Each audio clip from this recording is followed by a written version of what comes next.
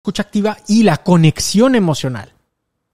Y una frase que me gusta mucho de Carl Rogers es escuchar con empatía es esencial para la comunicación exitosa.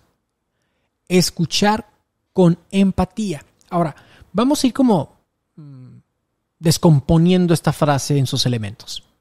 Ya sabemos tú y yo que escuchar es esencial para una comunicación, ¿no? Para la comunicación, ya te lo decía en el diagrama, en el punto anterior, ¿no? La maestra te decía eh, receptor, emisor, mensaje, retroalimentación, entonces se voltean las partes, ¿verdad? Bien.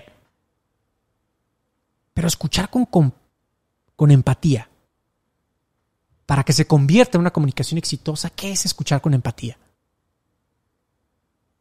Empatía no es ponerse en los zapatos de los demás. Eso no es.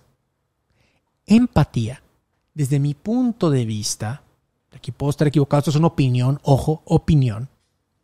Empatía no tiene que ver tanto con una actitud como tiene que ver con un interés. Es decir, ay, qué empático es, qué buena onda. Cuando una persona es empática, quiere decir que tiene el interés de conocer tu contexto.